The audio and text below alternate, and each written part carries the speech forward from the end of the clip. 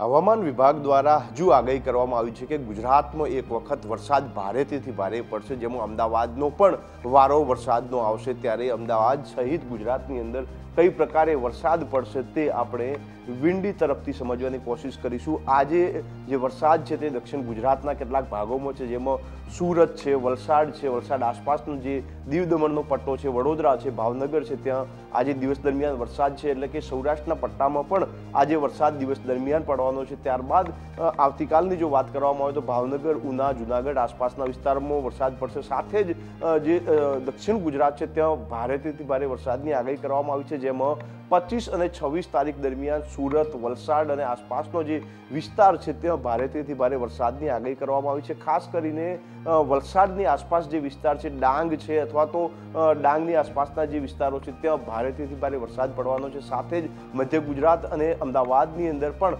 વરસાદની ખાસ આગાહી કરવામાં આવી છે. છવ્વીસ તારીખની જો વાત કરવામાં આવે તો છવ્વીસ તારીખે વલસાડ, શિલાવાસ, વ્યારા આસ- આહવા અને સુરતની અંદર વરસાદ પડશે. સાથે જ ભરૂચ, નર્મદા અને વડોદરા સુધીનો વરસાદ છે તે ભારેથી ભારે પડી શકે છે. સાથે સત્યાવીસ તારીખની જો વાત કરવામાં આવે તો મધ્ય ગુજરાતમાં પણ વરસાદ પડશે. સાથે જ ઉત્તર ગુજરાતની અંદર હિંમતનગર છે, ખેડબ્રહ્મા છે, પાલનપુર છે ત્યાં પણ વરસાદ છે તે મધ્યથી ભારે વરસાદ પડવાની આગાહી કરવામાં આવી છે. અમદાવાદની અંદર પણ સત્યાવીસ તારીખે વરસાદની આગાહી કરવામાં આવી છે. એટલે કે એક વીક દરમિયાન અમદાવાદ સહિત ગુજરાતના અલગ અલગ ભાગોની અંદર ભારેથી ભારે વરસાદની આગાહી કરવામાં આવી છે. જેમાં સત્યાવીસ તારીખે જે વરસાદ છે તે ખાસ કરીને દક્ષિણ ગુજરાતનો પટ્ટો છે ભરૂચથી લઈને તમામ જે આસપાસનો વિસ્તાર છે ત્યાં આગળ વરસાદની આગાહી કરવામાં આવી છે. એટલે કહી શકાય કે હજુ પણ ગુજરાતીઓએ તૈયાર રહેવું પડશે. એક વખત ભારેથી ભારે વરસાદ છે તે ગુજરાતના અલગ અલગ વિસ્તારમાં પડશે.